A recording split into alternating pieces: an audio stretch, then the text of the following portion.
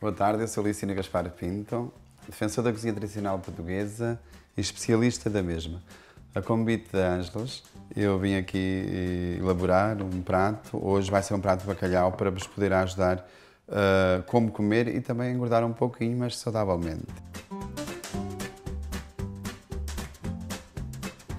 Então, este bacalhau com broa é uma receita uh, um pouco minha e eu vou então começar por saltear o bacalhau em azeite de alho.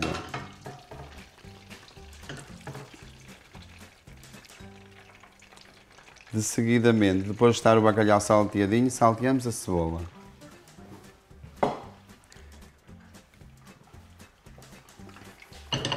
Assim que tiver a cebola bem lourinha,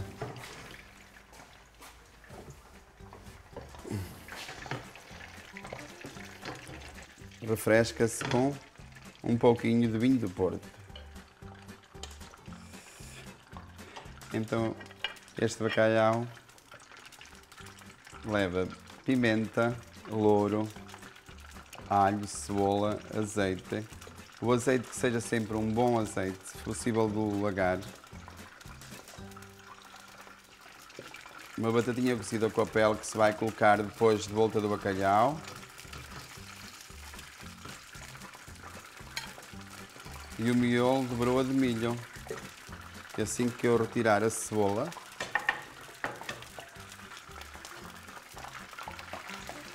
salteio a broa bem salteadinha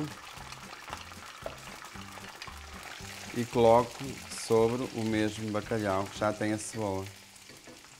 Então, neste momento estamos a alourar a cebola.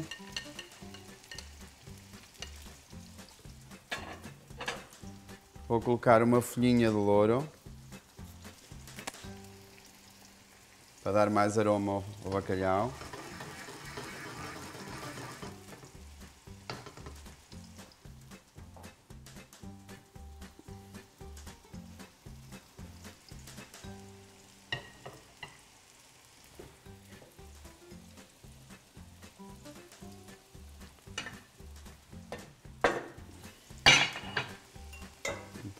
Tomar jeitinho aqui com a cebola, não ter muita pressa, deixar que a cebola cozinhe.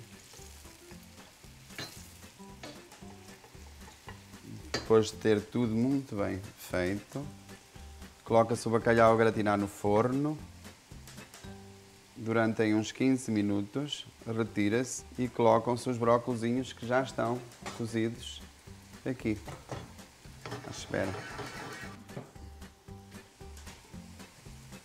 Então nós vamos retirar o azeite necessário para depois saltear a broa.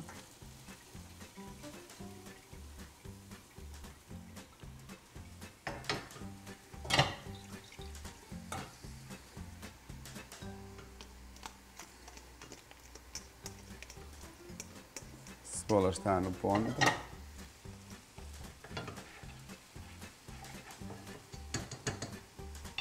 Agora vamos refrescar com um vinho do Porto. Este parece ser do bom.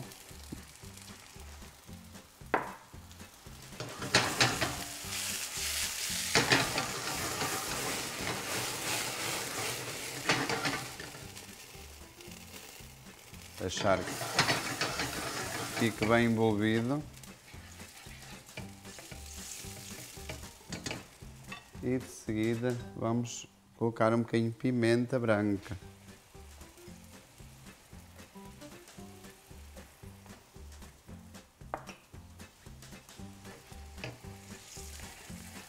Então, eu vou provar como faz o chefe de cozinha.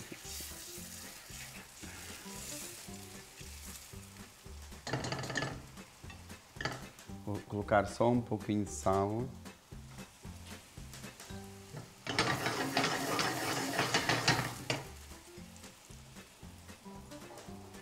Ferver mais um pouco. Hum, penso que está no ponto. Então vamos regar o bacalhau com todo este molho.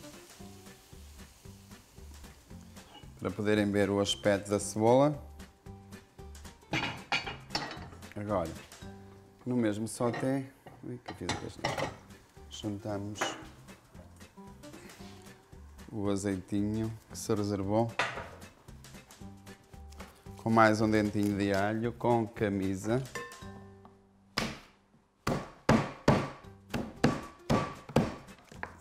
Camisa é a parte de fora a seguir ao alho, não é a, a casca que está suja. Então aloura-se para tomar o sabor. E junta-se o miolo da broa de milho.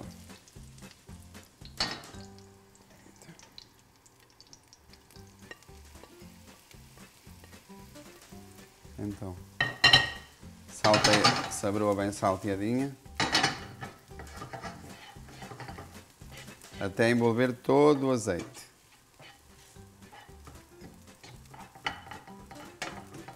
Também convém que se escolha uma broa mesmo caseira, tipo caseira, assim com saiba bem a milho.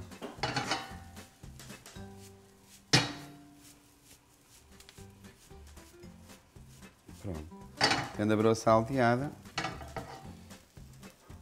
vamos colocar a mesma broa sobre o bacalhau.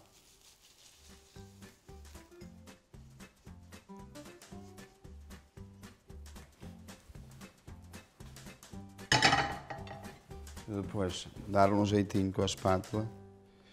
Neste caso é uma colher. Mas não fiquem preocupados com a camisa do alho no bacalhau porque não faz mal a ninguém, pelo contrário.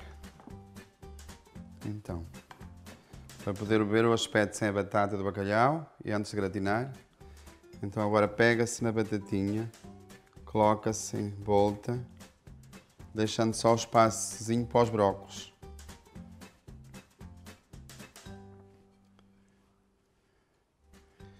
Então,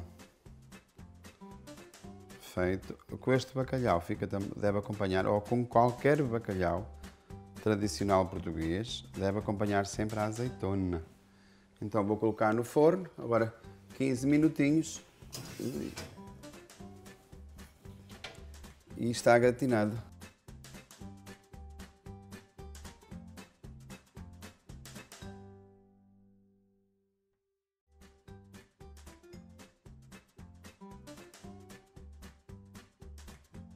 Então, temos o bacalhau gratinado, pronto a servir.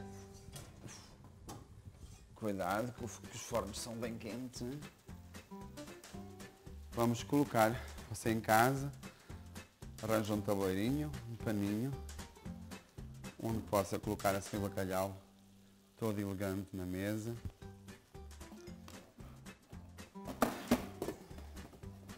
E agora vamos colocar os brócolos que falta.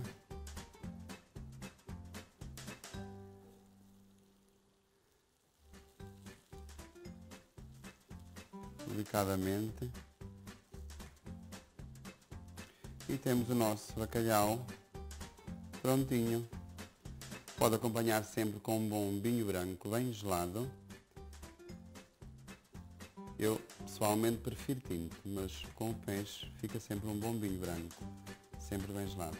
Pronto, aqui faz falta só a azeitoninha para dar o último toque, mas para a próxima eu farei com azeitona. Hoje vai sem elas. Então bom apetite. Até à próxima edição. Cá estarei novamente com um novo prato. E que Deus vos abençoe a todos e que não engordem tanto assim.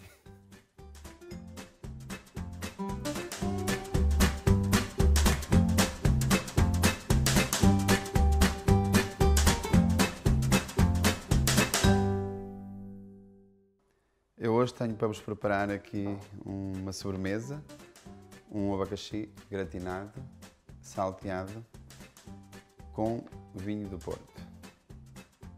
Então, para esta receita nós precisamos de um abacaxi, açúcar, vinho do Porto, um sauté e vontade de o preparar.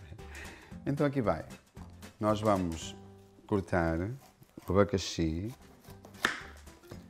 tirar-lhe estas partezinhas, parti-lo ao meio, tentar tirar a parte do meio sem estragar a parte de fora. Para depois podermos montar o abacaxi salteado com o vinho do Porto. Tem que usar -se uma, uma faca que corte bem. Ferramenta para mim que não corte bem, não presta. Agora sim. Então, vamos colocar aqui. Agora vamos cortar o abacaxi.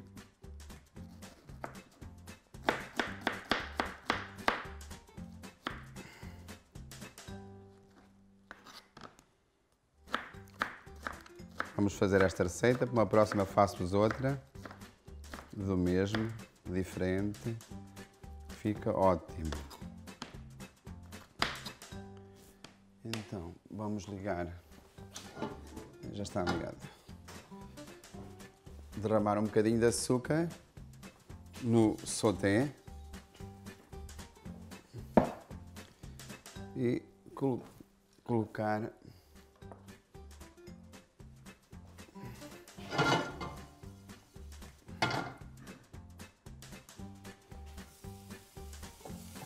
o abacaxi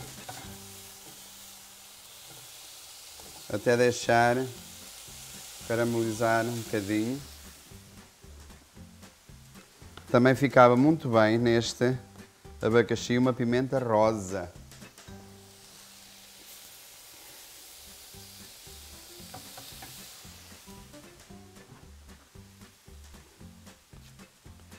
O picante com o doce fica ótimo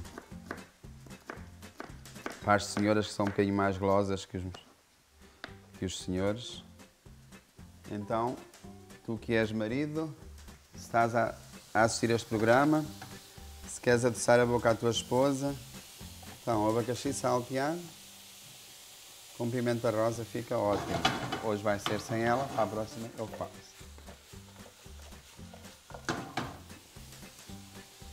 Então vamos polvilhar com mais um pouquinho de açúcar. E agora vamos deixar que caramelize um pouquinho.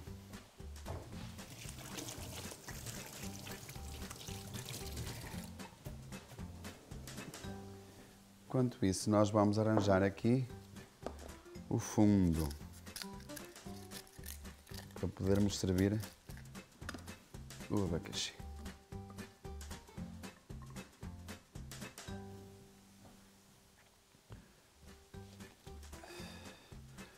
Esta sobremesa, em princípio, dá para três pessoas.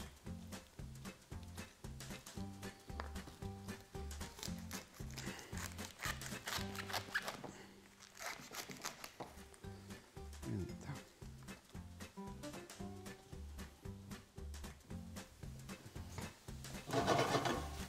Mais um pouquinho.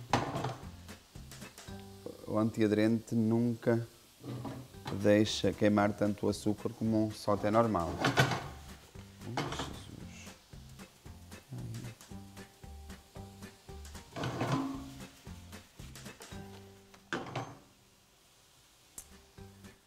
Eu tenho muito jeitinho de ir lá com a mão, mas vocês usem sempre uma colher porque o açúcar queima mesmo.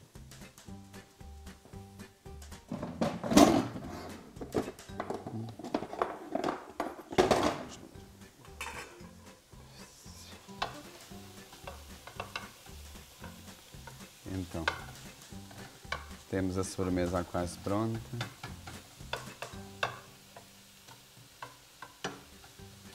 Vamos só deixar que aloure mais um pouquinho. E depois vamos então refrescar com o vinho do Porto.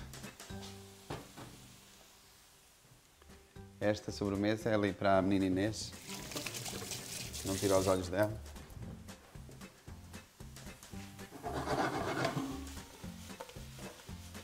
Então, mais uma sobremesa.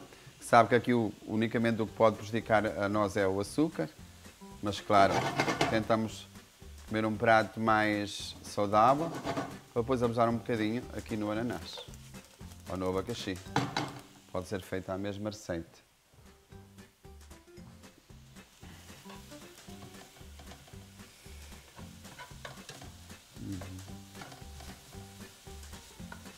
Ter aqui então a pimentinha rosinha ficava muito bom também.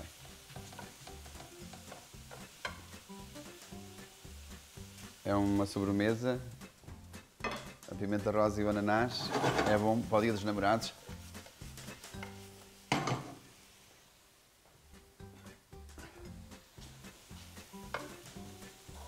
Fiz várias nesse dia.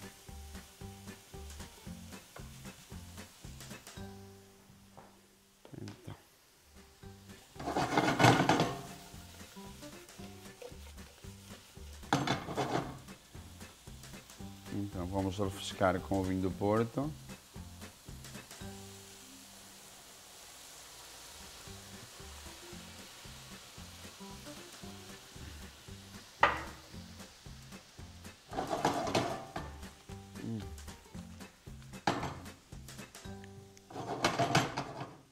Está no ponto, vamos deixar caramelizar mais um pouquinho. Reduzir o vinho do Porto a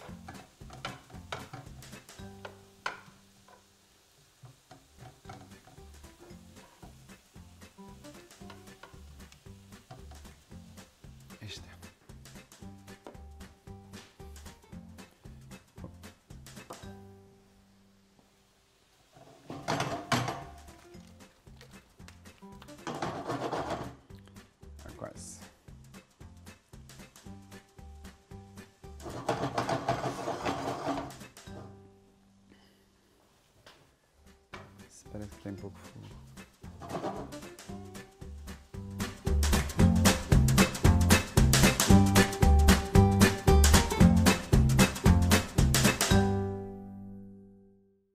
Então vamos agora derramar sobre a carcaça do abacaxi. Se tiver um bocadinho de caramelo, pode pôr um fiozinho de caramelo por cima e fica lindíssimo e bom. Então, vamos dar aqui mais um jeitinho.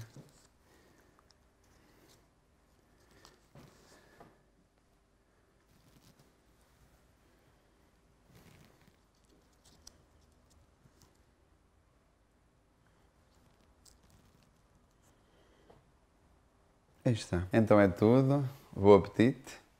Tenham uma santa semana e até à próxima. Se Deus quiser, que Deus vos abençoe.